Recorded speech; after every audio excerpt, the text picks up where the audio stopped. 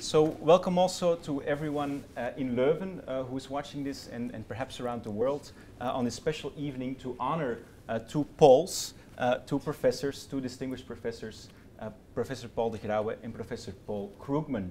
you might wonder why are we gathering the two Pauls here tonight? there is a good reason for that, if you believe it. it is because actually they've had a long-standing, can I call it, academic friendship um, of over 40 years, I understand. Uh, about 40 years. Yeah. That uh, culminated uh, to a visit, in a visit uh, of Professor uh, Krugman to uh, Professor de Grauwe and the KU Leuven in 1990 or 1991, we weren't sure. Uh, exact, exactly. Pretty but it sure it was 90, but it's 1990. Um, and so we're going to be talking about your lives, about your academic careers, and they span, of course, uh, let's say the whole uh, post-war, uh, war, uh, sorry, post-war uh, international economic order. Because Professor De Grauwe, you were born in 1946, and yeah, for a couple of years I was not aware of the world. Uh, and by the time that you were aware of the world, then Professor Krugman was born in 1953. That right. we do know. yeah. Um, and so it's quite remarkable that we are able to talk to you both about that, and I want to take you on that uh, journey uh, with me. Um, and the first thing I want to ask, because you know, you of course now are distinguished professors, Nobel Prize winner, uh, a pre-science uh, professor who saw the European debt crisis coming, but of course it didn't start out that way. Um, and I want to ask you about the beginning of your lives when you were young. Of course, you had to make a choice of what to study. Do you remember uh, why you decided to study economics? Economics or uh, yeah. economics? Yeah. yeah. yeah. Okay. Paul, why don't you go first? Oh, I well, I came second, but the uh, well, I actually my, my story is actually funny. Um, I was a very uh, a very nerdy uh, young man, and uh, and in, in high school I read science fiction, and I don't know if anybody here has ever read Isaac Asimov.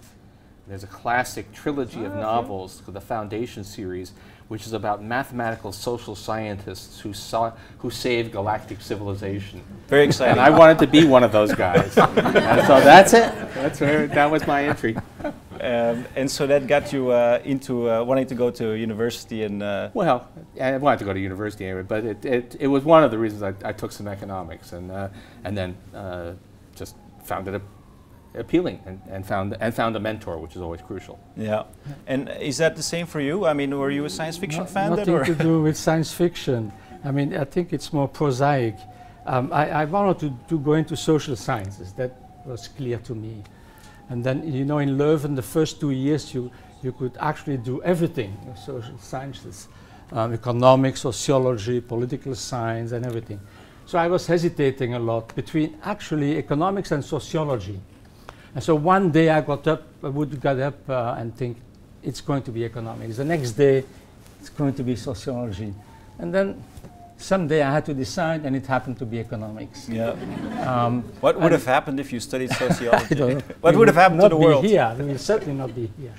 No, I think uh, I, I, still like this, this, this idea that in economics we, we should be um, interested in other things than pure economics. Huh? Of course. I mean, sociology, political science, these are important dimensions that we often miss in economics. But yeah.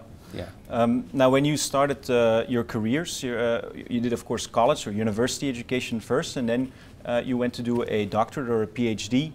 And uh, it was a special time when, when both of you entered the field as professors or as, as PhD students.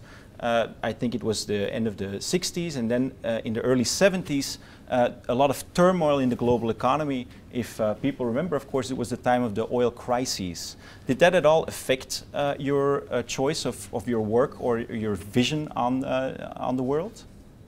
Well, for me, very much so, because the, it was not just the oil crisis, but it was also the collapse of the Bretton Woods international monetary system, the coming of fluctuating exchange rates. So the world was, uh, the world economy was a crazy place. I remember, I remember thinking, things are really crazy now. They'll never be this crazy again. Of course, they just kept on getting crazier. But the, uh, uh, but it was it, it, international stuff was suddenly very prominent, and uh, I had the very good luck in, in um, graduate school to, uh, we had, MIT had recently hired uh, Rudi Dornbusch, great uh, German, German uh, economist who was exciting, and, and it, it seemed like a natural thing to follow. Uh, I will say, by the way, at the time, very few Americans did international economics. It was just, you know, we have a congenital problem in this country of not really believing that the rest of the world exists. Uh, and, uh, and, and at the time I entered the field, it was there were Europeans, but there were also an awful lot of Canadians and Australians, and very few Americans. It, was, it wasn't until about five years into my career that I realized it was possible to get to a conference without drinking enormous amounts of beer. because uh, Rudiger Dornbusch, of course, uh, did that. Uh, no, he didn't, but the Canadians, the Australians I did. see, okay, all right, we got that reference wrong. Um, but it was quite interesting because uh, you studied indeed uh, at MIT, and, and, and, if you look at the people you studied with, it's uh, today it's a sort of a veritable who's who uh, of economic uh, policy making in the world. You mentioned a couple of names. I, it's hard almost to believe. Yeah, yeah. Everybody was overlapping with me. Uh, Mario Draghi, Ben Bernanke, uh, Olivier Blanchard at the, at the IMF. Um, um, uh, uh, Larry Summers was at Harvard, but effectively part of the same community. Maury Obstfeld later at the IMF. the basically almost everybody who was making economic policy um, in the last 10 years. In the last uh, 10 years was, was a classmate of mine. Including speaking. Mario Draghi and Ben Bernanke, the two uh, yeah. chairs of the Federal Reserve and the European yeah. Central Bank. And they were all part of the same cohort. Yeah, and all, all Rudi Dornbusch students. So it was this, uh, you know, MIT in the mid 1970s was a kind of uh, Athens of, of international economics, if you could yep. say, and uh, was it was the right time to be there. And if uh, if uh, MIT was Athens, then was Leuven Sparta, or? Uh? well, um, I, I, I, How did you get into the international, international economics? Uh? well, I mean, again, it's more prosaic. Um, I am from Belgium, right, and very small country. I was not attracted at all by doing just one country economics, right? A closed economy.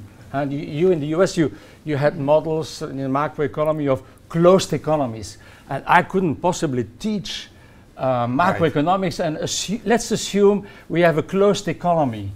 Yeah, um, Belgium that wouldn't yeah. work. You, you, you could do that in, in the US, but we, I couldn't do that in, in, in Belgium, right? So, and I was very much attracted by the international dimension and what uh, happens across the borders.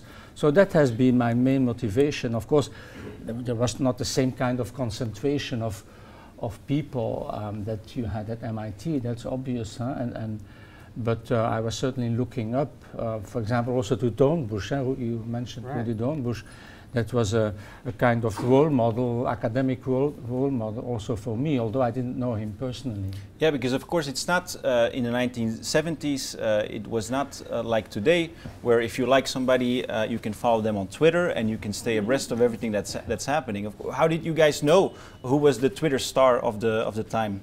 Oh, we, we read this, the, the articles, yeah, right? read the journals and the conferences. The conferences. Uh, one of the things about uh, uh, international economics is that, that there are many, many conferences. We're not talking fancy things, and we're talking about um, very modest but gatherings, and, and they tend to be kind of the same 30 people.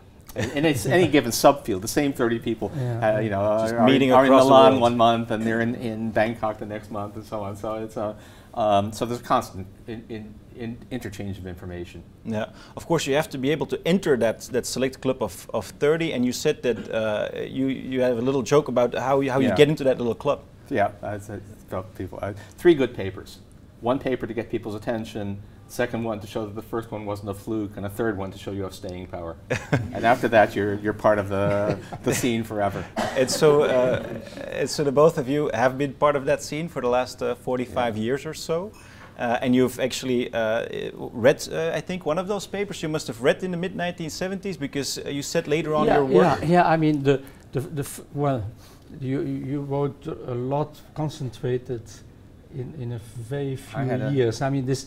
Um, I, I, you have this theory that um, people who get the Nobel Prize actually had their ideas when they were in their 20s, right?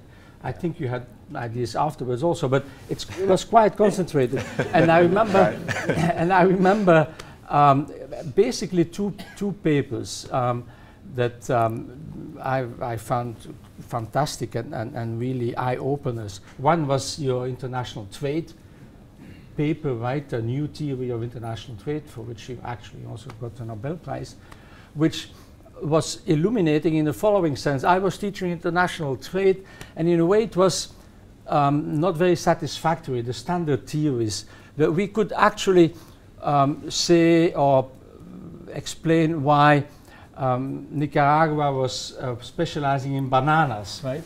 And, Right. and, uh, and we would uh, sell machinery or something to them, right? But we had very great difficulties in explaining trade among industrial countries. And that was m- where most of the action Was was. And, Right. and then y- you came up with, with your theory that I'm not going to explain here now, but uh, which I think influenced me a lot. And, then there was the- a second one. and, and, and the other one was about um, currency crisis, right? Um, so we, this was also the time we had started in Europe with the exchange rate mechanism. This was the European monetary system, right? Uh, we wanted to fix the exchange rates. Um, I had the feeling this won't work. But this was like a a gut gut- feeling. gut feeling. Right. And then he had a paper, you know, with just a few equations telling us, of course it will not work. If, if countries do not commit themselves 100% in their monetary and fiscal policies to maintaining the fixed exchange rate. And the example was the Netherlands, right? The Netherlands was actually following the Bundesbank. Uh, when the Bundesbank raised the interest rate, they would immediately raise the interest rate. And, and in other words, they abandoned any pretense of wanting to do something for their home economy. And, and Paul then Sensed showed that, with uh, a very elegant model that if that happens, then a currency crisis will occur. And you could, you could even, the timing of this. Well, in the model, it did. The The, timing was it precise, right? Yeah, And, uh, precise. um, yeah. Uh, it, it's funny because paying attention, I, to say the trade work, uh, we didn't say, talk about this before, but a lot of that was motivated by the example of the growth of trade within Europe. The, with, with the formation of the common market in 59 led to this explosion of trade, Belgium uh, being a prime example. Intra-European trade. Intra-European trade, which was very difficult to explain given the standard at the time models of international trade, and so uh, it was partly this paying attention to events and then asking, okay, um, how would we think about this? And there, there were some new theoretical approaches out there that I learned about from uh, at MIT, and and it, I realized this could be applied. So, and then the yeah currency crises, uh, you know they. Uh, There were, of course, enough currency crises to look at at that time. yeah, I mean, the, the collapse of Bretton Woods itself was marked by a, a wave of, of uh, speculative runs on currencies, and that's the kind of thing that, that, that, that motivated. But then, uh, yeah, I mean, I like to joke that I invented currency crises, which, you know, not, not the thing itself, but sort of the academic field, and, and the business has been good ever since. Although, of course, inflation now has uh, disappeared in Western markets. Um, and I, wa- I, I thought to mention this because uh, I wanted to ask, when did you first meet? And, and you mentioned we met at the Bellagio, and me, of course, with my limited cultural knowledge, I thought, oh, you, you met in Las Vegas. Uh, but, uh, but you were No, talking about, there's an uh, actual Bellagio in Italy. Just- yeah, in, in Italy, yeah, the, the Yeah, the the- Co- like Garda Lake, right? Or Uh, Como, Como. Lake. Como Uh, Lake, yeah, yeah, Como yeah, Lake. It's a beautiful, beautiful village, and it's the Rockefeller Center, huh? right, yeah. In Bellagio, a beautiful villa, and and I think I think that's where we first met. I think, but there there were so many. I mean, Yeah, uh, yeah, uh, yeah, At that's that stage of your career, you're going to a different country for a, an international conference every month, and it's a they all blur together in your, in your Yeah, mind. But so everybody it might knows have been another place, yeah. But so that was uh, at the end of the 70s, that was uh, perhaps? 70, Thereabouts. Yeah. Yeah. 79 or something, or Something like that. Yeah. I, And then something interesting happens because at that point you, you come in on each other's radar and then you start to sort of read each other's paper and, and it starts to influence uh, your work. And I think that uh, Professor de Grauwe, you had also mentioned, I worked later on, on on the idea of currency exchanges and fixed currency exchanges. And, and some of my ideas were actually inspired by the work of, of uh, Paul Krugman. Yes, as, as I already uh, told you, um, this, this model of currency crisis was, of course, key in understanding the nature of, of, uh, of, of crisis in the international uh, economy and especially in exchange markets.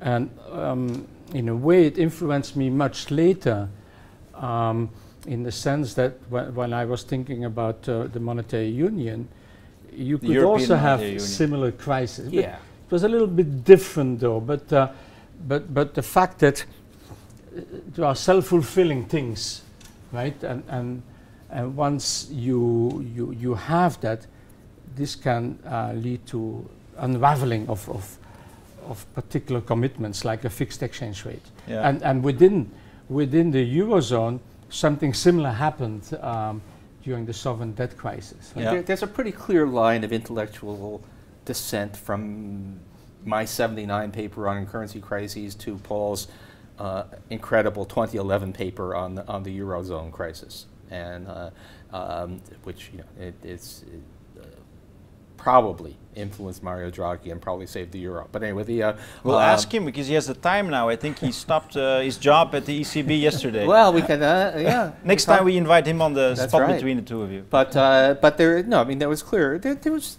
Yeah, it was a continuum, right? an Uh, yeah. interchange of views. Now, of course, between 1980 and 2011, a lot of things happened in the international economy. Uh, in Europe, uh, there has been the creation of the eurozone. It actually happened, um, and uh, and and on an academic level, I should say, uh, in 1990 also something special happened. Uh, uh, Paul, you visited uh, the other Paul in in Leuven. How did that uh, come about? Well, Well, I guess I, I, I invite. I was at that time responsible for the Gaston Eyskens chair. So this was a series of lectures that uh, the Department of Economics organized, uh, funded by bankers who had set up uh, a fund to do that.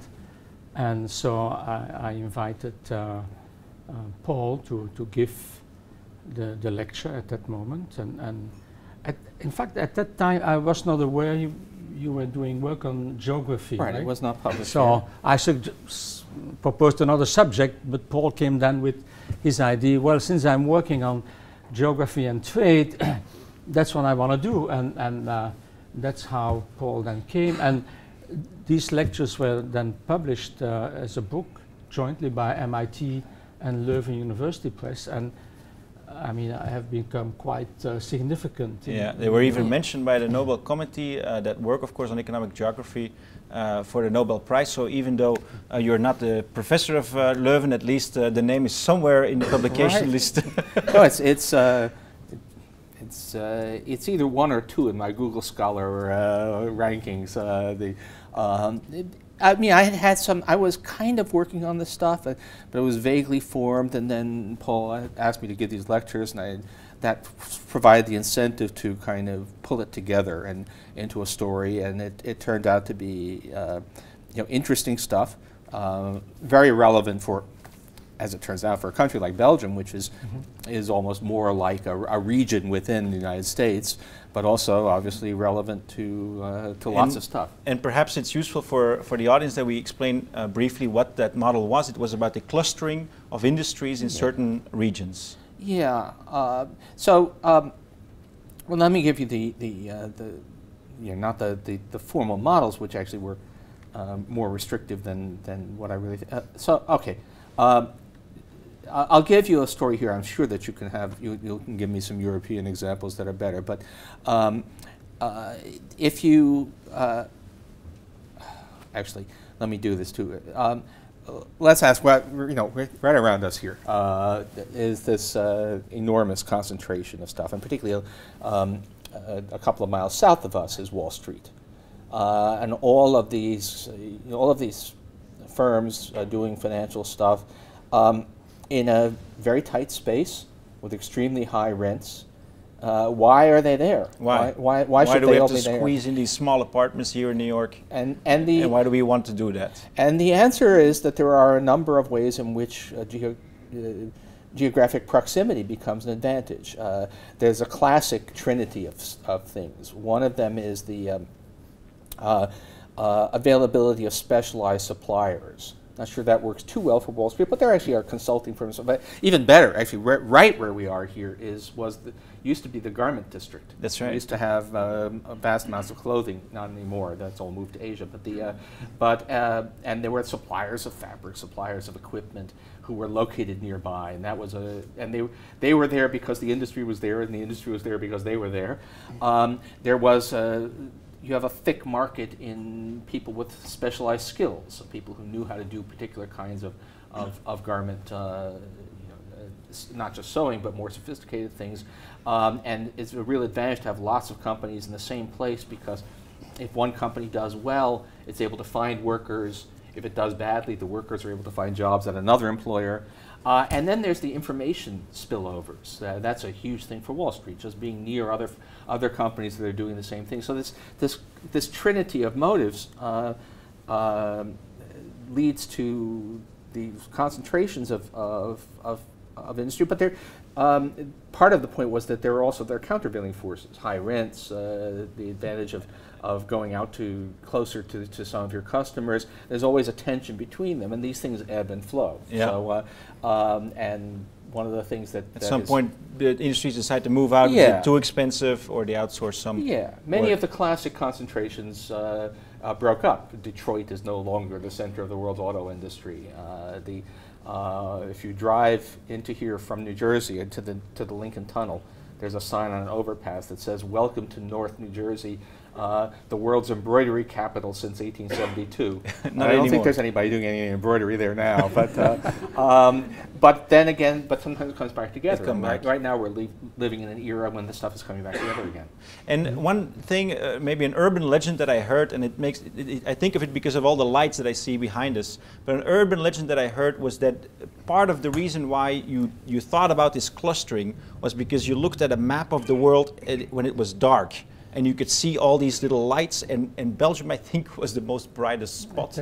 But Well, that, that's but- maybe the part I added. But Flanders has changed its policy now. It's less bright now. Is huh? that, is that what Because right? the, the, the motorways are not illuminated At anymore. night anymore. Uh, But is there anything to that story? Well, I, I don't know if it started with that, but it certainly is a way to see it. You just look at the. I mean, if you look at this is now because p- countries are getting better about about wasting energy, but uh, but until quite recently, illumination was a very good proxy for Indicator. GDP. And and if you look at a map, if you look at, at a at nighttime photos of, of Europe, there's nothing that hints, that hints at country boundaries.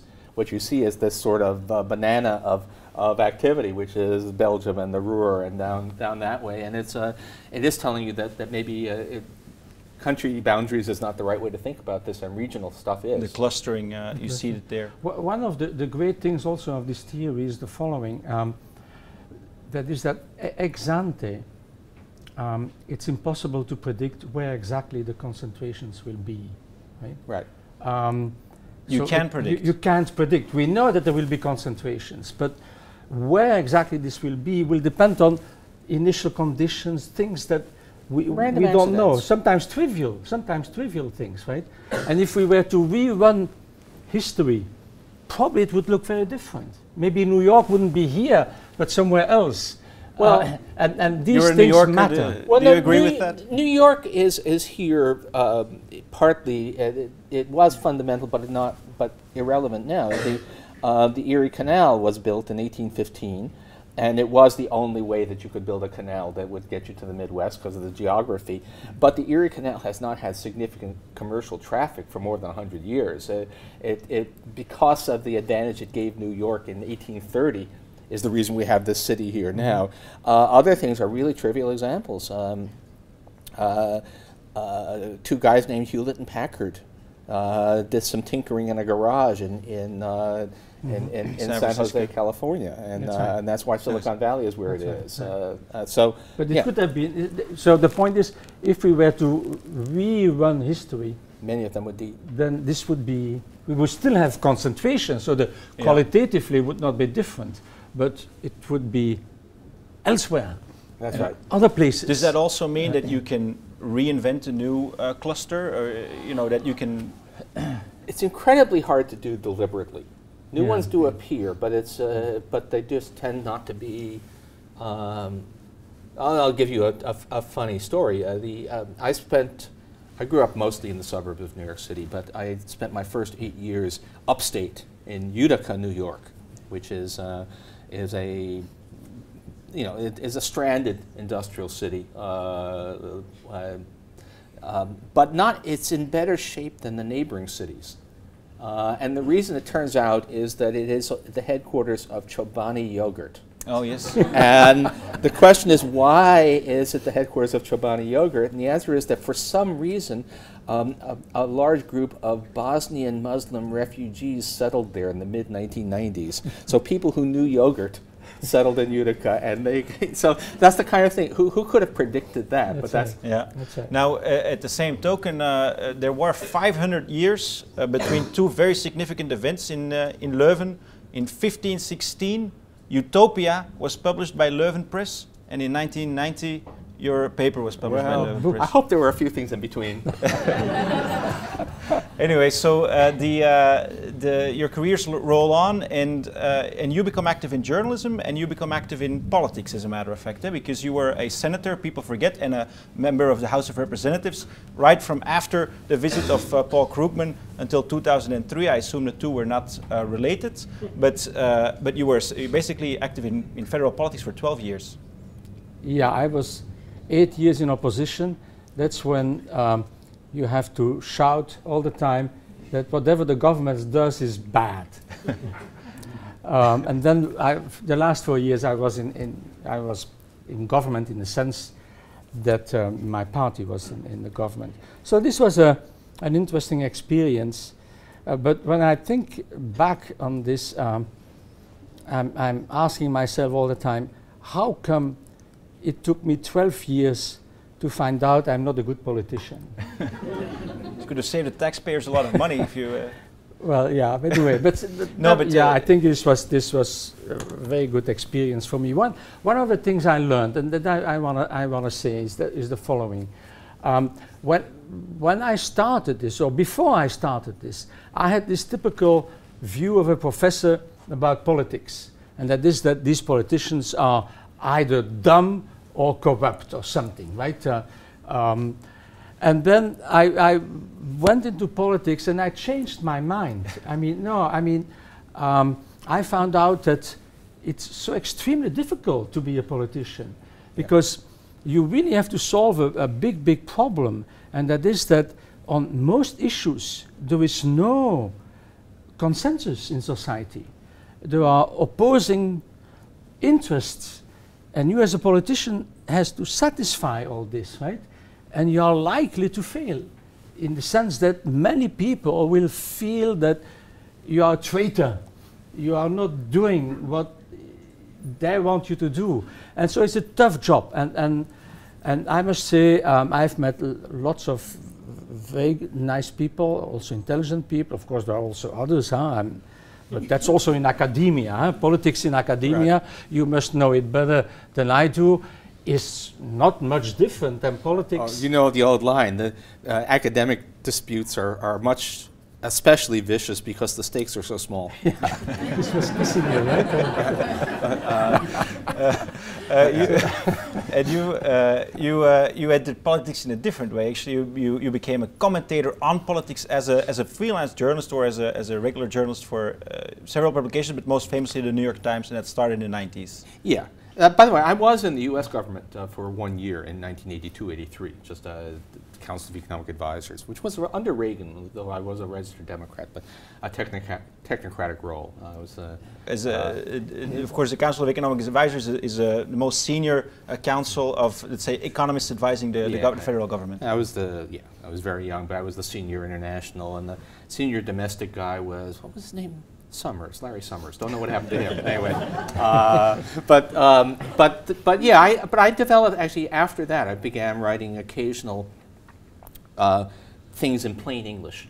Uh, for which it turns out I'm, I'm, I'm not bad for an economist at writing things in plain Right. English. And, uh, uh, and got you know, so regular once a month writing uh, first for online uh, publications and then for Fortune magazine. And then uh, the Times approached me for, to write this column. So it, it uh, which was, uh, you know, it's a, that, that's, it, the Times is a very special publication in the U.S., I guess, in the world. Right in the it's, building uh, here. Yeah, um, although I never, yeah, you, you never did you have a disc here or a badge here? Uh, I still did never got I never got myself a, a, a regular building pass because I'm never here except for parties. Makes you wonder what you have to do for the New York Times to get a Uh, build, building What pass. you have to do is waste four hours of your time going through a lot of procedures. Um, but the, uh, but yeah, I, I started, I, and, and it's an interesting, uh, you know, it's it's a, it, the ability to write economics for uh, for a broader public is related to the ability to do good economics, but it's not quite the same thing. You have to figure out. Actually, you have to. Your audience is intelligent, but not. But always comes from, eh, from a standing start, and so you have to find ways to avoid jargon and find ways to explain things very, very simply, and uh, that's uh, it, it's it's uh, it's a craft. It's it's uh, it, it can be satisfying in its own way. Yeah, and uh, I remember that a couple of times uh, you can find it in the archive uh, that you thought a good way to introduce a certain topic was to refer to uh, work of uh, Professor de Grauwe. I remember a couple of times in your column that you Well- mentioned him and his work. Well, I was tremendously. I mean, this is. Uh, I mean, not quite sure we want to bring this in, but the. um I mean, I was following the. I, I followed European affairs much more than most Americans uh, for a long time. Even the original work was was strongly motivated by European trade, and, and I followed the, the the road to the euro and all of that. Um, and then when the European debt crisis broke out. Um, I mean, I, I had been kind of a Eurosceptic, but I have to admit, I at least somewhat bought into the line that, that this was uh, that this was a fundamental fiscal crisis. Uh, and then I read this totally eye-opening paper by this by Paul de Grauwe, who I'd known forever, From- uh, yeah. uh, in 2011, saying, you know, look at Spain versus Britain. Uh, fiscally, Spain is in better shape. Why is Spain in, in crisis and Britain not? And saying it, that it's, this is all about a cash flow, and it's this is bec it's it, Spain isn't fundamentally insolvent. It's just not getting. It, it can run out of money because it can't print its own money, and uh, and it's a self-fulfilling panic. Uh, and I was you know huge booster of that, uh, along with uh, many other people. I think we were all kind of like, oh, hey, we've been reading this whole situation wrong, and uh, um, it, it was, I think, probably the, the single most eye-opening paper I'd ever read on a, on a, a current economic issue. It's high praise. Um, Also, a paper I really wished I'd written, you know, which is the highest praise of all. I think you wrote that. Yeah, I did say that. maybe, maybe you can exchange the papers uh, within. Uh, Well, if if we can trade, I would take your papers and, and, you can uh, have with the mine. Nobel, well, uh, with the Nobel Prize. no, but no, I, I enjoyed uh, this this and uh, yeah, I mean, I'm, I was very happy also that Paul uh, recognized this, and I still remember a, a blog. Well, you had two blogs that refer to that. One was you have this knack to, to have great titles. One was called "Pain in Spain," right. Pain in Spain, and the other one was Paul de Grauwe and uh, the Reign of Terror. Which but that that, that this but is no, but the insider. rain was, Was uh, Olli was Rehn. O- Olli Yeah. Rehn of, uh, Olli of- Rehn. from This is Finland. Olli Rehn, right? Olli Rehn was the Finnish, uh, commissioner, commissioner. of economic and finance in the European Commission, and he was going around in, in Europe saying austerity and the way to get out of the of the crisis Yeah. is by austerity, right? Um, and so Paul had the the reign, but written like Olli Rehn of terror Yes. and contrasting this with uh, my analysis. So just to may- maybe to try to, to explain what, what Paul has already done it, but um, the, the key element was that um, people, many people didn't realize that once you are in a monetary union, um, the, the, the, the governments have to issue their bonds into what is effectively a foreign currency, right? Uh, which is w- over which the, 'Cause the they cannot government has the no money. control because it print money. cannot, Right. it has no central bank to back it up, right? Um, and that is key, of course, because um, it, it means that um, an individual government cannot give a 100% guarantee that the bonds that, is, that are issued will be repaid at maturity because it's in a foreign currency. It's like Argentina issuing uh, In bonds US in dollar. dollars, right? Right. Cannot really give a guarantee to bondholders. Look, look, you can be sure you will always be repaid in dollars. Ah, what if the Argentinian government runs out of dollars, right? Um, and this actually happened within the eurozone. I mean, we, we were all Argentinas in a certain way. That's right. And, and so because there was no central bank capable of backing up that commitment that these governments had done. And that creates then a potential for self-fulfilling crisis. There are purely liquidity crises, right? That people are afraid, or maybe this government, the Spanish government, may run out of, of cash or of euros. So we, we better sell the bonds, right? And in doing so, creates the, the liquidity crisis. So how do you deal with this? Not by austerity like Olli Rehn right. was trying to do. no need to do austerity. You need a central bank willing to commit itself to provide liquidity in times of crisis. And who could do that? The ECB. And, and, and yeah, then. And what happened was that what Mario Draghi uh, said three words whatever it takes, which yeah. was taken to be we will supply cash. Yeah. We will, you know, not that we will prop up a government that is fundamentally insolvent, but that it, we will not allow a European country to run out of cash and, and default on its bonds simply from lack of, of, of pieces of paper with, with bridges and doors on them. And, uh, and uh, of course, this all started 2011, was actually preceded by another crisis, which was the financial crisis here in the US. Now, as per scientists, as you were on, on the euro uh, crisis, um, I remember you saying, um, I had not seen uh, the financial crisis uh, coming in 2008. Yeah, so, I mean, I thought, uh, uh, I thought it was obvious that there was a huge housing bubble uh, and that it would be nasty when it burst. what I thought, did not think of, was that the financial system would prove as fragile. Uh, because we all knew about banking crises and the Great Depression, but we said, well, banks, you know, banks uh, deposits are guaranteed. They're, they have uh, uh discount lines with the with the central bank.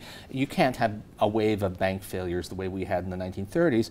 What I had missed, almost everybody had missed, was that we had actually evolved a financial system that was mostly not there was mostly things that, that were de facto banks but were not legally banks. Shadow banking. We had all of these things. We had the repo market. We had that was the most important part of it. But we had all of these these shadow banking institutions that had no safety net, and so we were in fact uh, set up so that that you could have a a, a, a sort of high tech.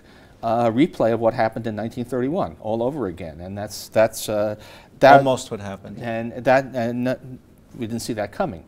By the way, I would say the European Europe managed to do pretty much the same thing with with uh, you know, different details. So there was more.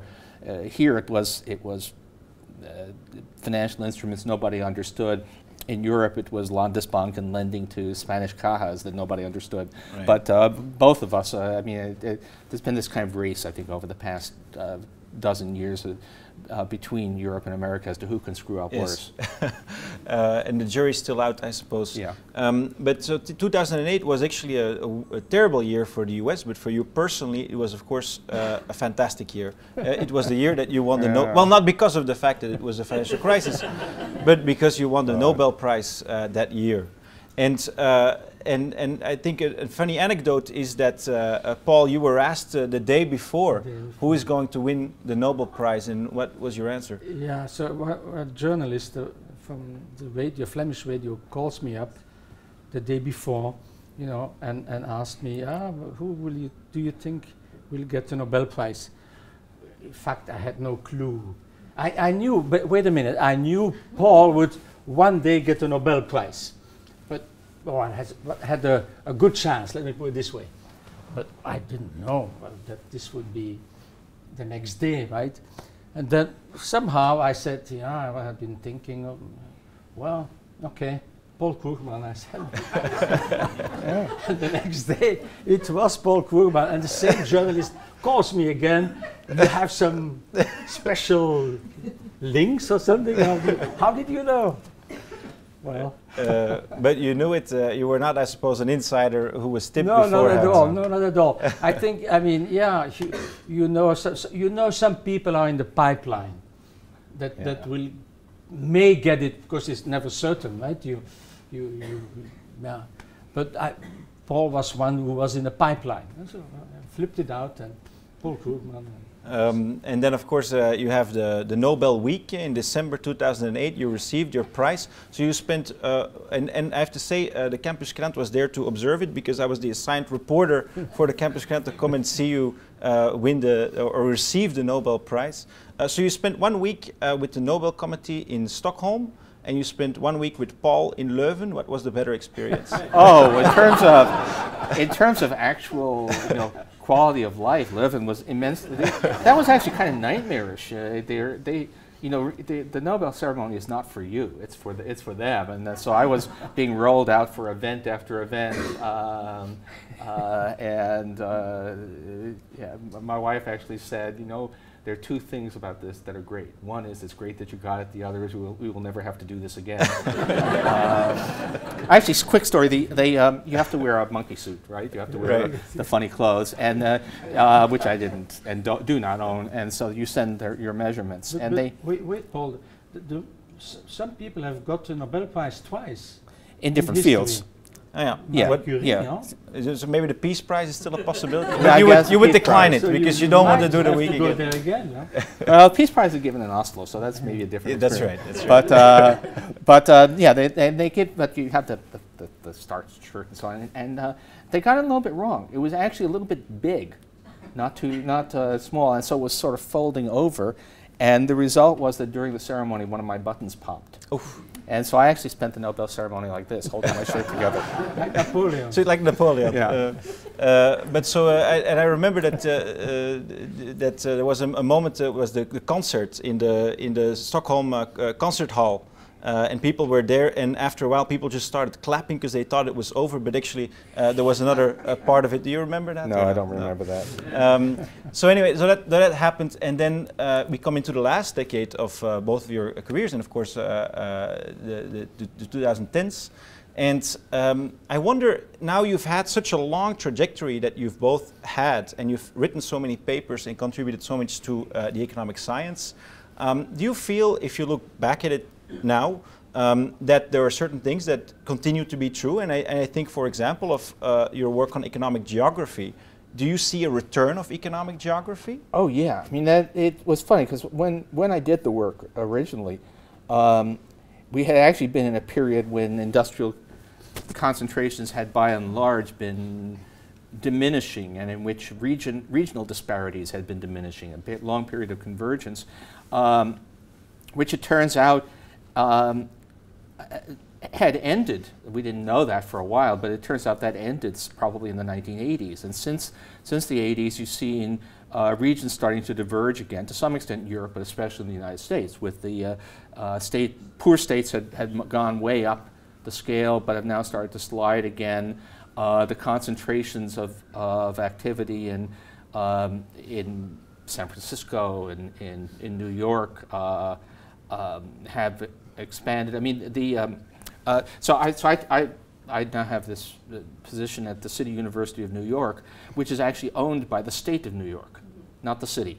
And the reason is that New York City went bankrupt in 1975, and the, the state uh, bailed out the, the, university system by taking it over. That wouldn't happen now. Uh, wh well, the point was that New York City was in bad shape, not only with extremely high crime and all of that, but also was economically on the ropes in the 1970s, and now it's you know it's uh, uh, it's back. It's insanely expensive, but it's uh, it's insanely expensive because it's such an attractive place uh, to do business. So it, the, the the the forces of concentration seem to have had a big revival since since around since the 1980s. Yeah. Um, and, is, uh, and, and, that you can see, for example, in the, the technology sector, of course, where there's huge concentration, but you can see it in these superstar cities like New York and San Francisco and, uh, and a couple of other ones. Yeah, and it's a, it's a other thing. I mean, the, so knowledge, the knowledge-based economy seems to thrive on large groups of highly educated people in the same place. That's that's a big part of it.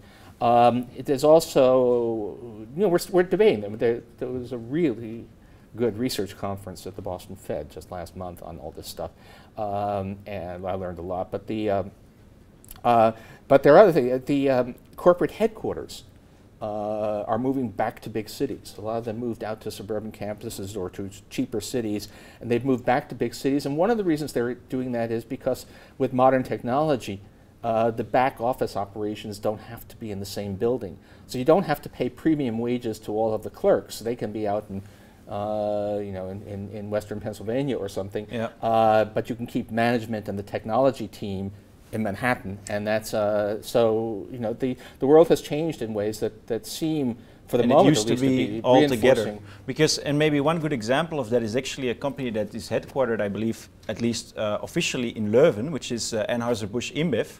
Uh, it's one top 100, one yeah. top 100 executives are actually based here on Park Avenue, just a couple of oh, blocks oh, down. There we go. That's um, but they're just on one or two floors of a building, and for the rest, nobody is there. So that's one of those examples where you see the headquarters moving to the big city. But the beer the is produced in Leuven. Huh? Yes. okay, that's good. that's good. but no, it's actually I was, I was trying to explain this. Uh, we I gave a, a, seminar on this stuff uh, yesterday at at, uh, at at the graduate center, uh, and the students were asking, you know, they were trying to what what do you mean about this? Things have to be located together, and I said, wait, you, you, in an office in 1970, the corporate database consisted of a bunch of filing cabinets, right? Right. And so everybody had, had, to, have access to those filing cabinets, and that's not how things work anymore. And that's how technology is sort of helping to both yeah. recluster, but also diverge uh, uh, yeah. regions and cities mm-hmm. in, in terms of. Uh, do you feel the same about uh, your work on currency exchanges? I mean, Paul uh, said in our preparatory conversation that he was surprised twice about the eurozone. Eh? I think you said you were surprised. I was surprised at the at the scale of the crisis. I mean, I, I was always a eurosceptic, but the, the way things fell apart in, in 2010, 2011 was shocking. But then the the durability, the fact that there have still been, around. It's still around. Uh, some of the countries have staged strong comebacks, but the, in particular, the currency has been has has held together. Uh, I I would have expected somebody I, I, thought there was going to be Grexit or something, but none, none of it has happened. Mm -hmm. So, uh, would you say then uh, that your work, I mean, will we continue to see these well, crises in the Eurozone? Well, I, I, think so in the following sense. Um, so, we have now set up the European Central Bank somehow as a lender of last resort, right? Uh, yeah. in, in times of crisis. So, the, what Draghi announced in 2012 was that in times of crisis, um, the ECB is willing to buy unlimited amounts of bonds, of national government bonds, right, um, in, in the markets to, to provide liquidity, right?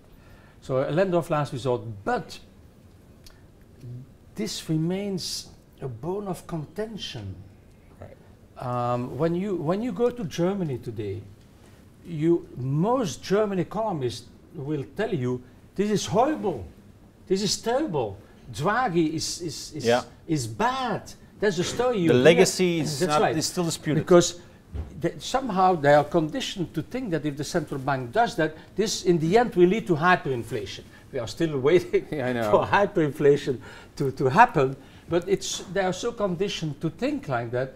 And, and, and this also determines or influences policymakers so that it's not evident that if we have a next crisis, that may occur during a next recession, if it is deep enough, we will have all the ingredients again, right? Because then investors, they will look around and they will see some countries hit more by the recession, and therefore they will move out of these countries, creating a liquidity crisis.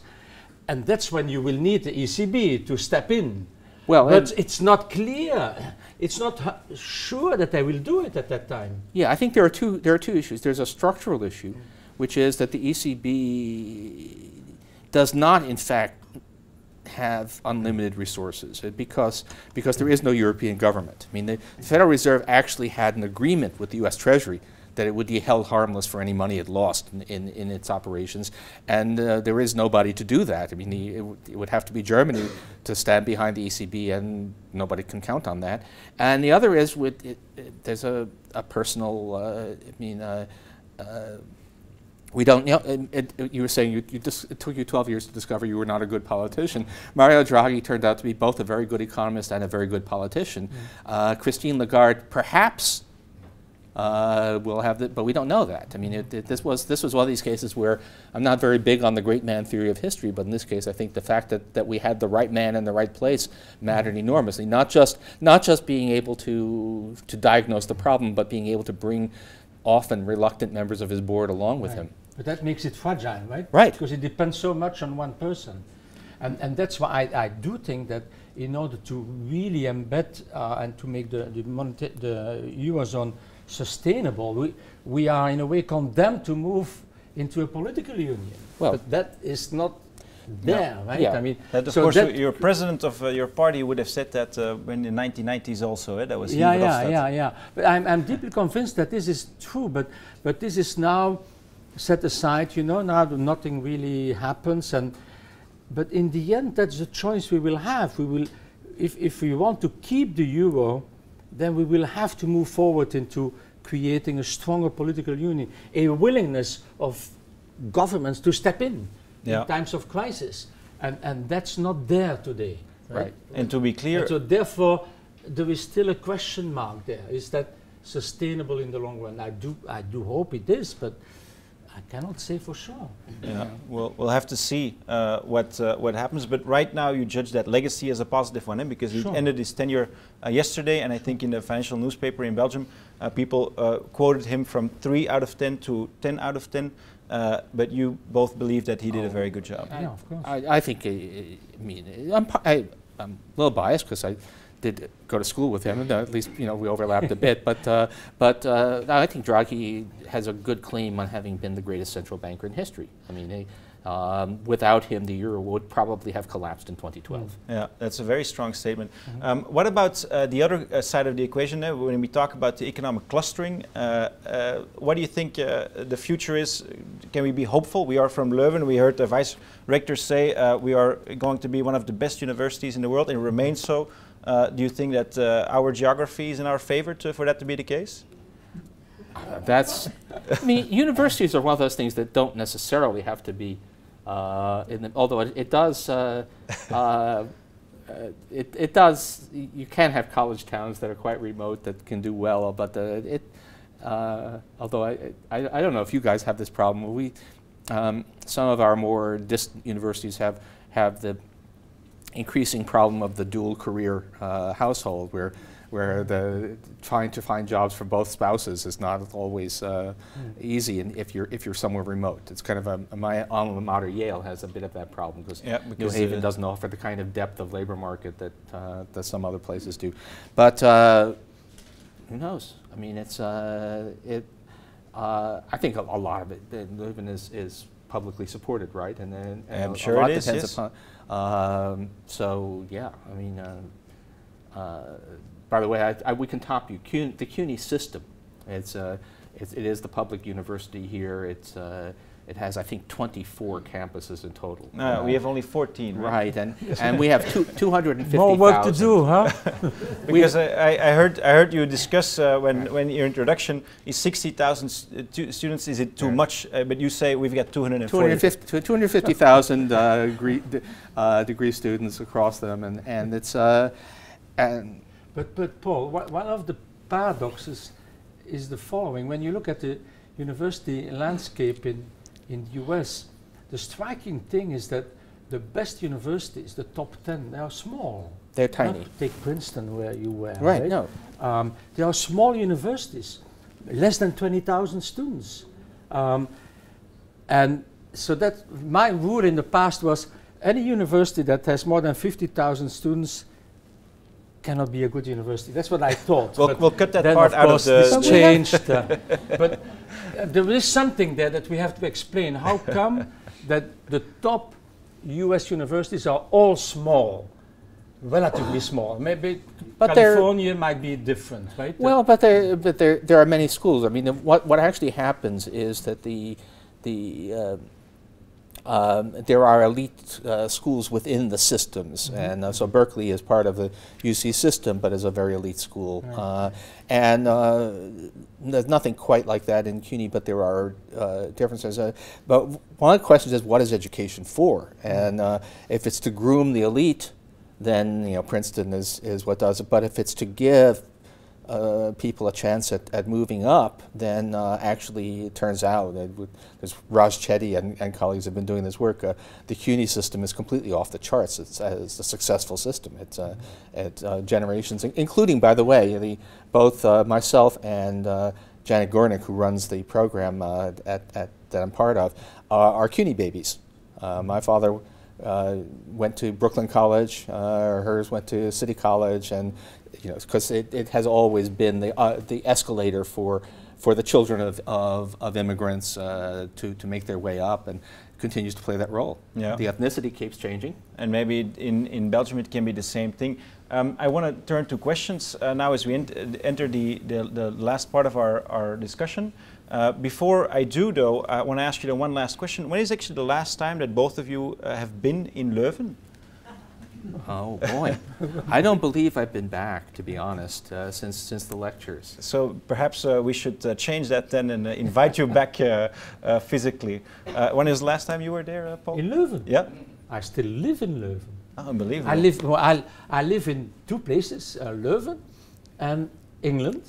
Yeah, Um, since I have a full-time job in, in, in London at LSE, the, the nice thing of a full-time job as an academic, it's not really full time. you don't have to be there full-time, right? Right. and, and so I, I'm usually two or three days uh, a week in, in, in London, and the rest of the time I work at home, right? And, and, and then the weekends I am going to Leuven. So I'm, I'm in Leuven much of the time. Okay, well, if you ever want to see your friend uh, again, uh, then uh, you know where to find him. It's Yeah. not the men- metropolis of London, uh, but the even better city of, uh, of Leuven in Belgium.